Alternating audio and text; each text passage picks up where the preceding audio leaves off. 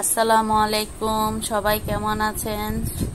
Simple life of শামিমে আপনাদেরকে স্বাগতম।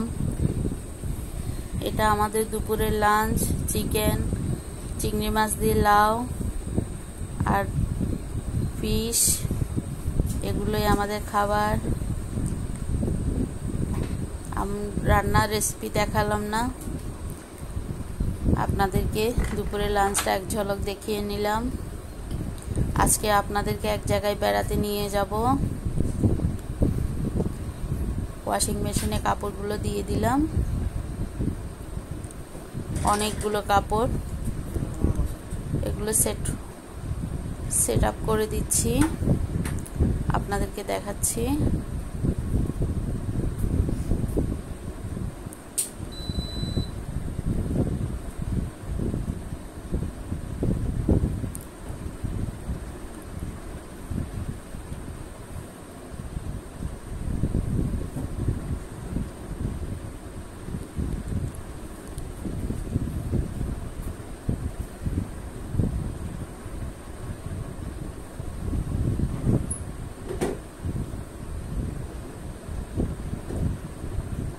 Thirty এইটে দিলাম।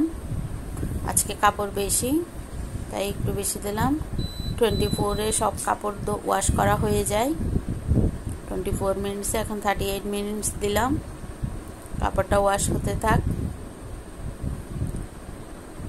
এখন আমরা বেড়াতে যাচ্ছি আমার ননদের বাসায়। আমার বড় ননদ, আমরা চারটা ননদ। বড় ননদের বাসায় যাচ্ছি। সেখানে আমার শাশুড়ি মা বেড়াতে গেছে। শাশুড়ি আম্মাকে দেখতে যাব। আমার ছেলে ড্রাইভ করছে। আমি আর আমার ছেলে, বড় ছেলে যাচ্ছি প্রিয়ম।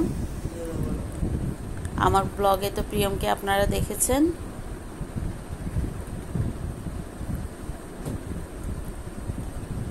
এখন আমি আমার শাশুড়িকে একটু দেখাচ্ছি।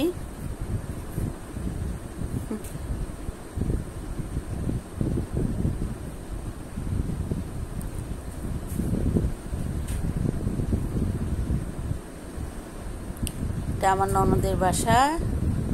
এটা আমার শাশুড়ি। উনি একটু অসুস্থ। তাই দেখতে গেলাম। এখন ননদের বাসায় নাস্তা খাব। নাস্তার প্রিপারেশন চলছে। অনেকগুলো নাস্তা দিল।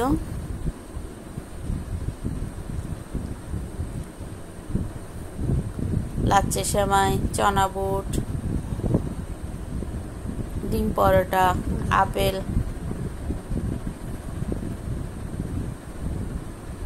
এখন আমি বিকেলের একটা নাস্তা বানাবো সন্ধ্যার পরে। সন্ধ্যায় আমরা নান, রুটি আর পরোটা খেয়েছি। বাচ্চাদের নাকি খিদে লেগেছে। এখন একটা স্ন্যাক্স বানাবো। এক কাপ পানিতে এক প্যাকেট নুডলস আর নুডলসের যে মশলাগুলো থাকে সেগুলো দিয়ে নুডলসটা সিদ্ধ করে নেব, লো আছে। ও পাশে চা বসিয়ে দিয়েছি।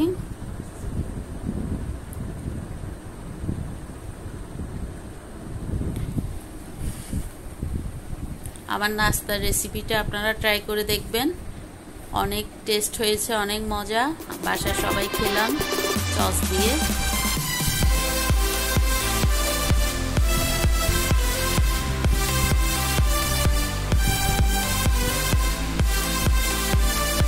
চা খাওয়ার কোনো শেষ নেই। কতবার যে চা খাই, আমার হাজবেন্ড পাঁচ ছয়বার চা খাই সারাদিনই চা খাই আমাদের চা খাওয়ার কোনো ঠিক নেই। রাতে নয়টার সময়ও চা খাই অভ্যাসটা ভালো না, তবুও অভ্যাস হয়ে গেছে। পেঁয়াজগুলো আমি কাঁচি দিয়ে কেটে নিচ্ছি। এক কাপের চেয়ে বেশি পেঁয়াজ কুচি দেবেন।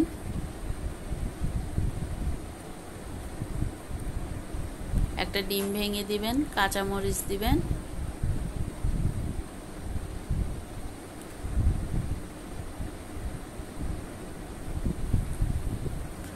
অল্প দুই তিন টেবিল চামচ ময়দা দিবেন এখানে। নুডলসটা সিদ্ধ হচ্ছে, চাটাও হচ্ছে। চার পিস পাউরুটি কেটে স্লাইস করে দিবেন। হাতেও ছিঁড়ে দেওয়া যায়। আমি কাঁচি দিয়ে কেটে দিচ্ছি। একদম ইজি রেসিপি শর্টকাটের জন্য।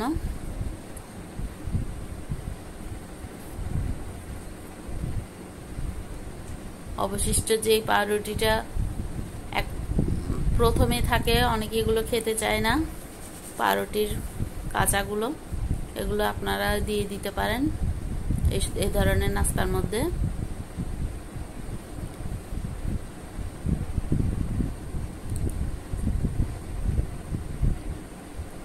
অল্প করে ময়দা দিবেন, তিন টেবিল চামচের মতো।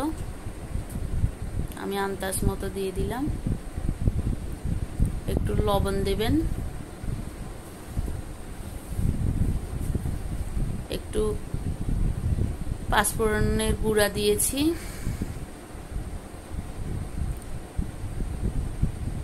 এখন নুডলসটা ঢেলে দিব। নুডলসটা আর ওয়াশ করা লাগবে না, পানি দিয়ে ধোবেন না, সেদ্ধ করে দিয়ে দিবেন।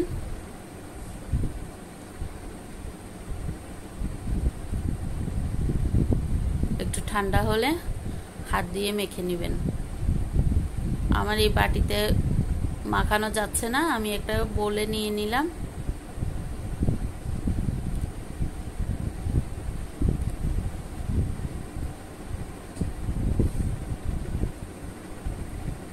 এখন হাত দিয়ে মেখে নিচ্ছি। আস্তে আস্তে মেখে নেবেন।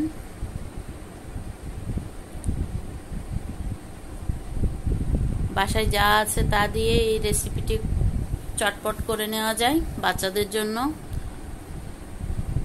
একটু স্পাইসি খাবার।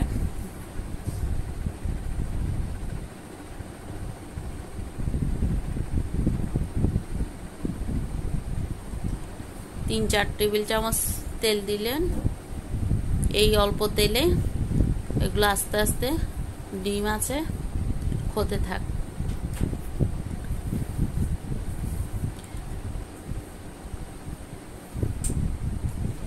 মাখা হয়ে গেছে। এখন দুই হাতে বল করে নিব। কাবাব শেপে চেপটা করে।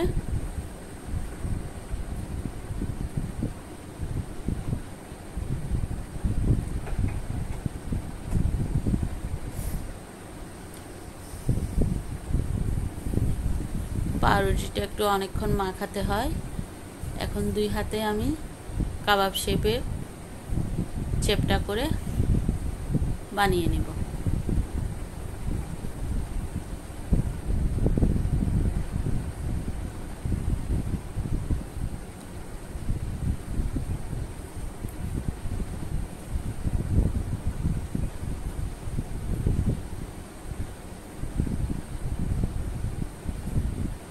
চুলোতে প্যান বসে তেল দিয়ে দিয়েছি।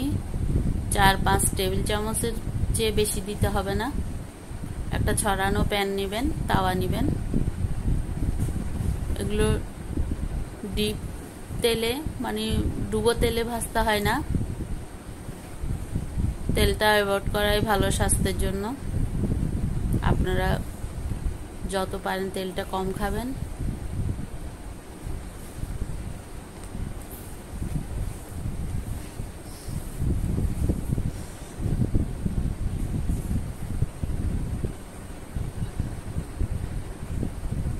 অনেকগুলো হয়েছে।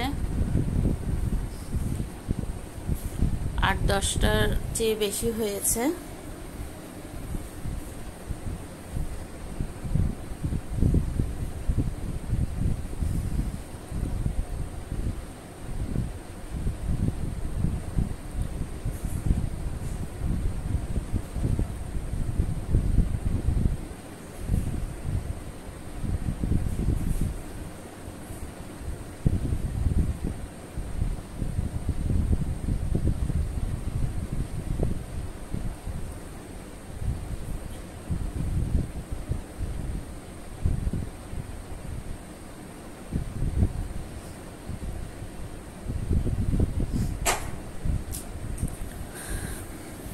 আপনাদের যদি আমার ব্লগ ভালো লেগে থাকে, প্রতিদিন আপনাদের মাঝে নতুন নতুন ব্লগ নিয়ে আসব নতুন ভিডিও নিয়ে আসব।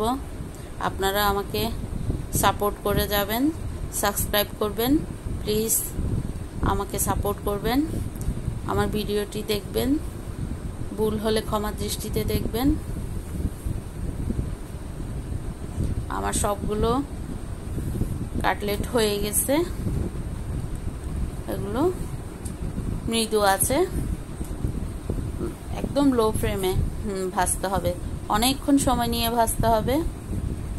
এপাশ ওপাশ করে উল্টে পাল্টে দিয়ে ভাজতে হবে।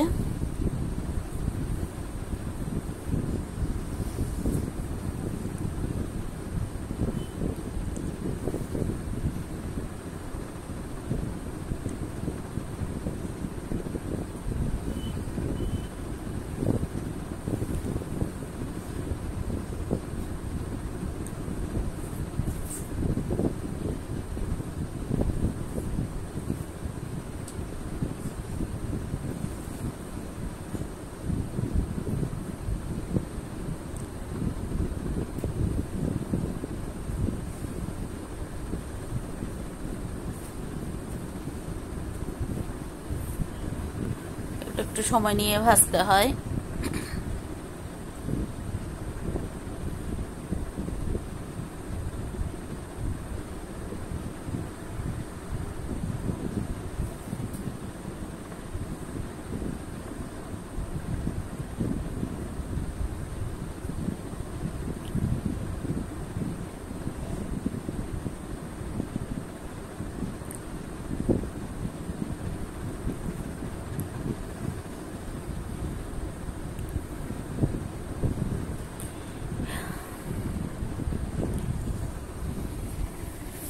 এই যে আমার কাটলেট হয়ে গেছে, আপনাদের একটা ভেঙে দেখাচ্ছি।